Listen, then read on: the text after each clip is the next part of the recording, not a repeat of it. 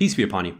So, in last week's episode, we looked at extreme poverty throughout the world in the last 30 years has dropped by 65%. That in the past, 36% of the world population was uh, impoverished eh, under extreme poverty, living under a dollar a day. And today, that's less than 10% of the world population. That's a huge achievement. But despite this, people feel more disenfranchised today than ever. Uh, inequality is on rise, and people's satisfaction with their economic status is worse than it was in the past, despite things being better in the aggregate. So the question is, why is that? Why do people feel this way? And something happened to me the other week that I feel like is a good example of this entire predicament that we're seeing. And it has to do with kids. So I got two small kids, and um, I learn a lot from them. The fact is, I feel like they're a micro example of myself and adults uh, when we get older. And so what happened was my daughter, she's in kindergarten, and I picked her up early from school so we can go rock climbing. And it was kind of a surprise. So she's super excited. You know, we're happy we're going rock climbing. And as we're driving there, she says, Oh, you know, I'm so excited to go rock climbing. Can I go and get my own pair of rock climbing shoes? Because right now she just climbs in tennis shoes. And I said, you know, I really don't want to spend money on uh, rock climbing shoes because in a couple months you're going to like grow out of them. What if uh, you just borrow whatever they have there? So she gets happy, says, okay, that's good enough. So we get there, we get her shoes, and then we start climbing. And between me and her, we share one chalk bag uh, that you chalk up your hands when you climb. And she said, you know, I really want my own bag. And I said, you know, I'm not going to go and just buy another bag. It's fine. We can just share one and uh, she got upset and she didn't want to climb. And I said, okay, okay, listen, why don't we do this? Your birthday's coming up and I'll get you a chalk bag for your birthday, your very own chalk bag. And she got excited again. So we started climbing. And then in the middle of climbing, she says, hey, you know, I really don't want to eat dinner at home. There's this Vietnamese restaurant that sometimes we go to after rock climbing that's just across the street. Can we go there instead for dinner? And I was thinking, I said, you know, I already have dinner planned and I'm on the fence and you can tell she's getting upset by this. I said, okay, sure, sure. We can go get uh, Vietnamese food afterwards. So she got excited again and we start climbing again. And then two minutes later, she says, you know, I really like it when after we get dinner, uh, if we can get this boba drink, this like sugary drink that she likes. And I thought about it. I said, you know, this is uh, uh it's kind of at, my wits end. And I said, no, no, no. You know, we didn't come here to get a boba drink. You know, I already said committed to all these other things, and uh, I'm going to draw the line there, and we're not going to do it. And she got really upset, and then she didn't want to climb anymore, and said she wanted to go home.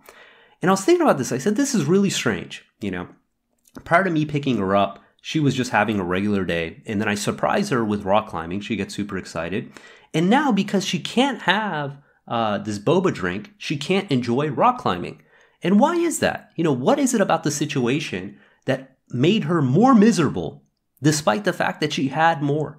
Is the fact that she was thinking of what she was missing rather than being appreciative for what she had. And that was the fundamental truth. And this is something that isn't just towards children.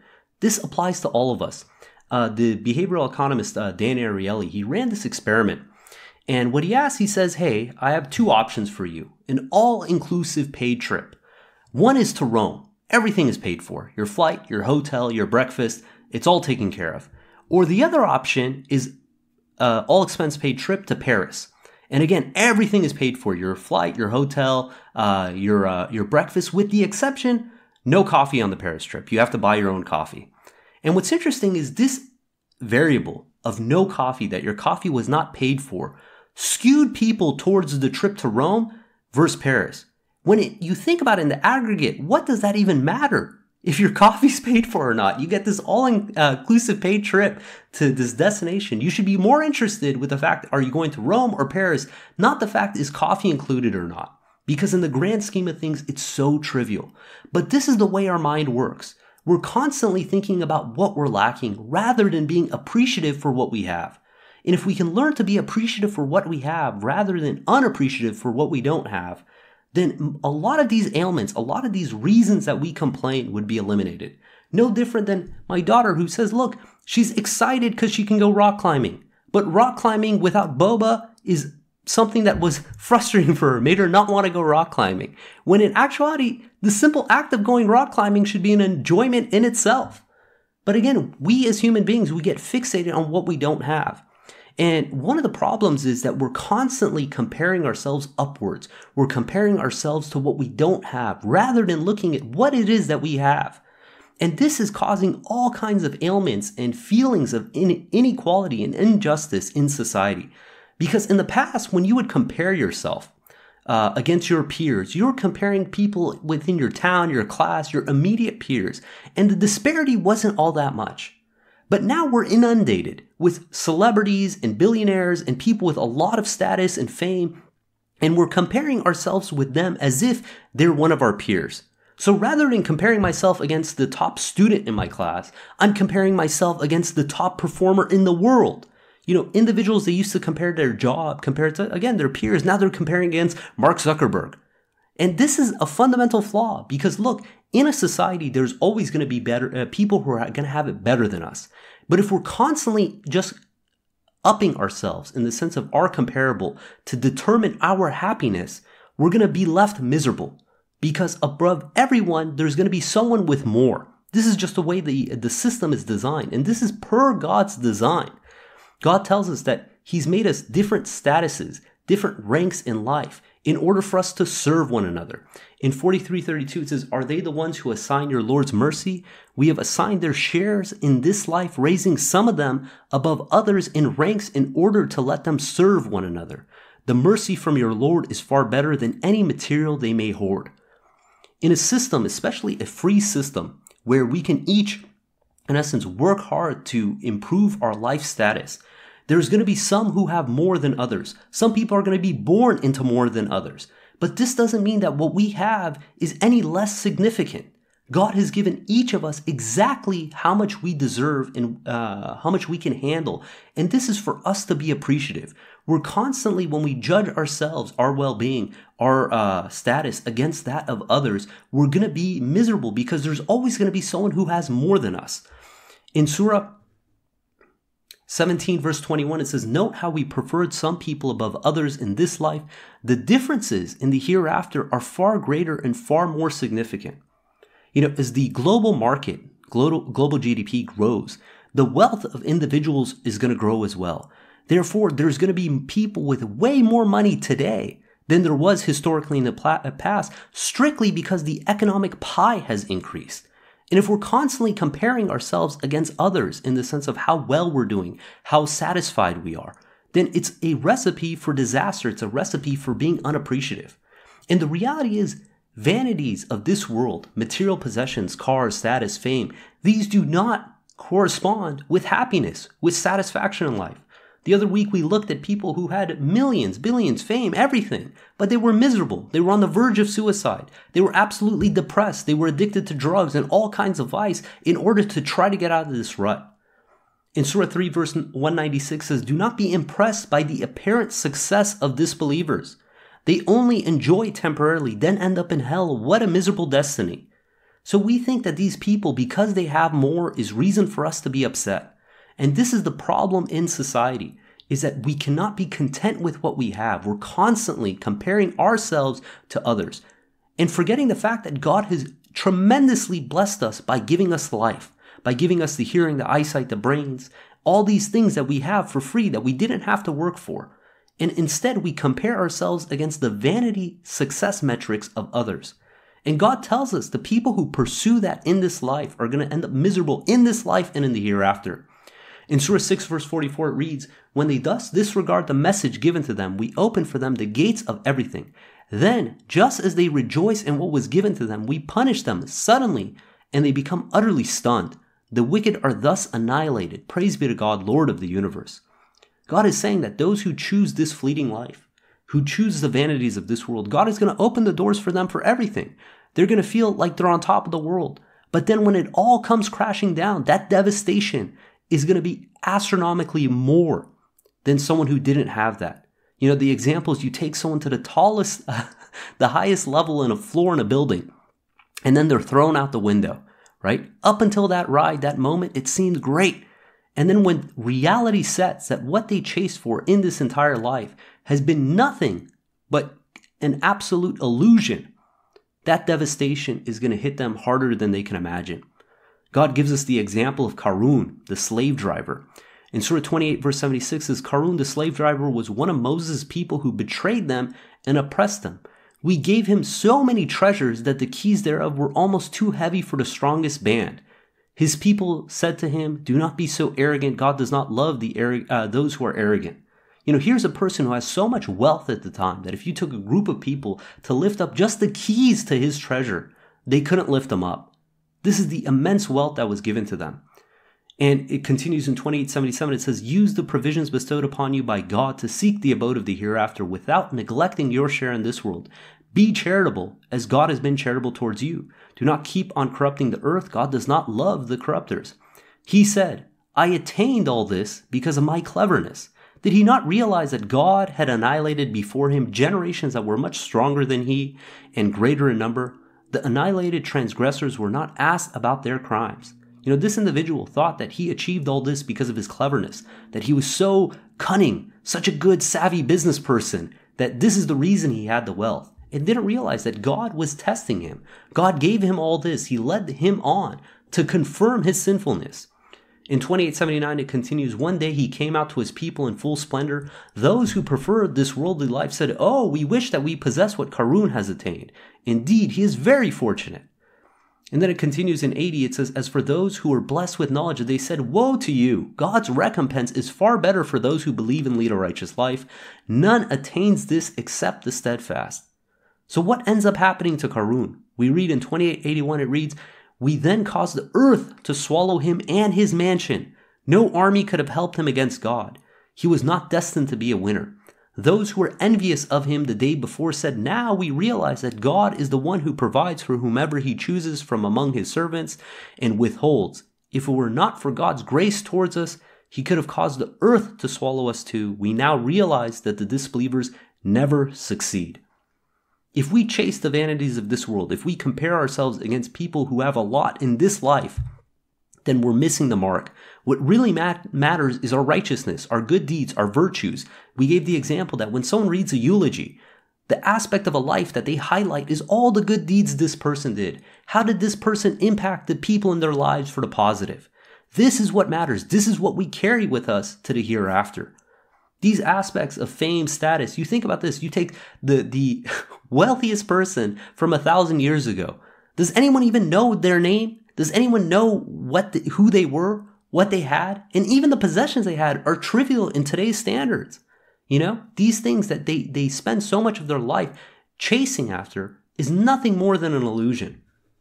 In Surah 57, verse 20, God gives us this example. It says, Know that this worldly life is no more than play and games and boasting among you, and hoarding of money and children. It is like abundant rain that produces plants that pleases the disbelievers. But then the plants turn into useless hay and are blown away by the wind. In the hereafter, there's either severe retribution or forgiveness from God and approval. This worldly life is no more than a temporary illusion. Everything that in this world that we try to achieve, the vanities, they're all going to go to waste. They're all going to turn to dust. Nothing is going to survive. You know, the expression that when you die, your jacket won't need any pockets because there's nothing of this world we're going to carry with us to the hereafter. What matters is our character, our appreciation, the good deeds we do in this life. This is what we're going to carry. This is what our soul consists of. The individual who gets fixated on the metrics of this world and compares their success based on the metrics, these vanity metrics of others, is not only going to be disappointed in this life, they're going to be disappointed in the hereafter because they're chasing an illusion. Now, in the Bible, there's a parable uh, from Jesus in Matthew chapter 25, verse 14 through 30, about the parable of the talents. So, talents is a currency metric used at the time of the uh, Romans at the time of Jesus. And it reads, for it will be like a man going on a journey who called his servants and entrusted to them his property. To one he gave five talents, to another two, and to another one, to each according to his ability, and he went away. He who received the five talents went at once and traded with them, and he made five talents more. So also he who had two talents made two talents more. But he who received that one single talent went and dug a hole into the ground and hid it his master's money. Now, after a long time, the master of those servants came and settled accounts with them. And he who received the five talents came forward, bringing five talents more, saying, Master, you delivered to me five talents. Here, I have five more talents for you. His master said to him, Well done, good and faithful servant. You have been faithful for over a little. I will set you over much. enter into the joy of your master. And he who had two talents came forward, saying, Master, you delivered to me two talents. Here I have made two talents more. His master said to him, Well done, good and faithful servant. You have been faithful over a little. I will set you over much. Enter into the joy of your master. So these individuals, one was received five talents, one received two talents, and they went and they invested. They, they grew this amount to more, and they pleased the master when he came back. And it continues in verse 24. It reads, He who received that one talent came forward saying, Master, I knew you to be a hard man, reaping where you did not sow, and gathering where you did not scatter no seed. So I was afraid, and I went and hid your one talent in the ground. Here you have, it's yours. But his master answered him, You wicked and slothful servant, you knew that I reap where I have not sown, and gather where I scattered no seed. Then you ought to have invested my money with the bankers, and at my coming I should have received what was my own with interest. So take the talent from him and give it to him who has ten talents. For to everyone who has will more be given, and he will have an abundance. But from the one who has not even what he has will be taken away and cast the worthless servant into the outer darkness in that place where will be weeping and gnashing of teeth. Now, what is the, the meaning of this parable? Right? It's interesting that the word that's used, talents, right, is multi-meaning. It could mean a currency, but it's also think of it in the sense of an ability. God has given each of us abilities, gifts, things that we can use to better ourselves. If we get fixated on what others have because we feel like we have less and we don't use these gifts that God has given us, what does that say about what God can trust us with? You know, the person that God has given a lot and they utilize that gift, they utilize it to, to grow economically, to God willing be able to do more good, serve more people, give more charity, is better than someone who reserves these gifts and doesn't use them. Right?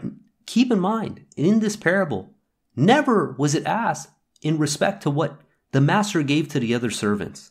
To each was given their own to what they could handle. And that individual could not even handle one talent, let alone five or two, right? This is what it comes down to. Each of us is blessed with certain abilities, certain gifts, certain provisions. The question is, how do we use these to better our situation? How do we use these to God willing draw closer to God? In Surah 42, verse 27, it reads, If God increased the provision for his servants, they would transgress on earth. This is why he sends it precisely measured to whomever he wills. He is fully cognizant and seer of his servants. To each person, God has given specific provisions to see how we react, how do we behave. If God gave us more than we can handle, we might become unappreciative. We might become greedy. We might become uh, hoarding individuals. We get fixated on the world, the vanities of this life. God gives us the example in Surah 7, verse 169. It says, Subsequent to them, he substituted new generations who inherited the scripture. That's us. That's me. That's you. And it continues, but they opted for the worldly life instead, saying, We will be forgiven. But then they continue to opt for the materials of this world. Did they not make a covenant to uphold the scripture and not to say about God except the truth? Did they not study the scripture? Certainly, the abode of the hereafter is far better for those who maintain righteousness. Do you not understand?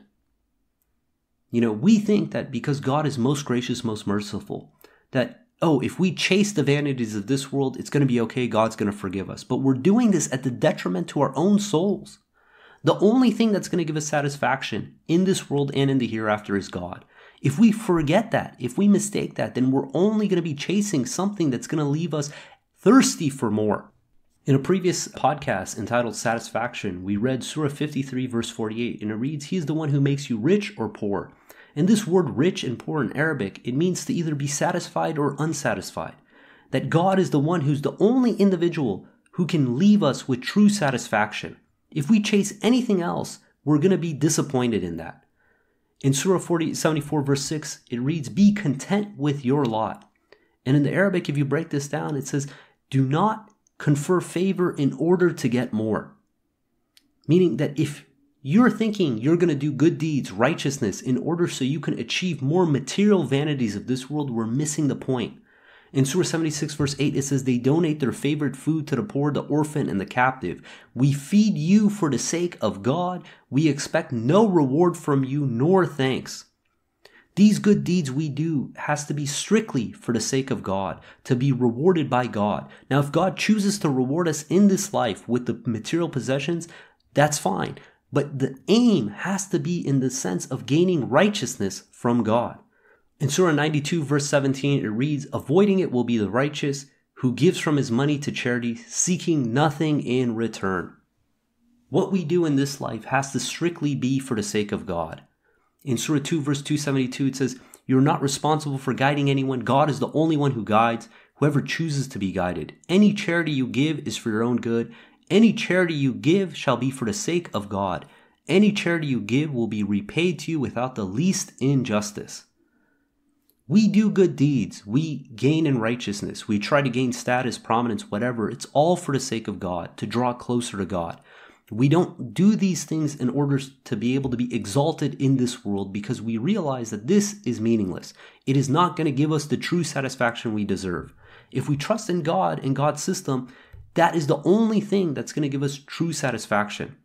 Once we truly realize this, then God willing, we will stop comparing ourselves to the material success of others and we'll start learning true appreciation. And this is more valuable than anything of this world. One can have everything in the world, but they will not be able to be satisfied. Therefore, they will not be able to be appreciative. Therefore, they will never be happy.